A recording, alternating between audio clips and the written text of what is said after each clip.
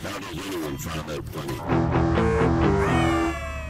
I mean, seriously, how does anyone find that funny? If you laugh at it, there is something seriously wrong with you.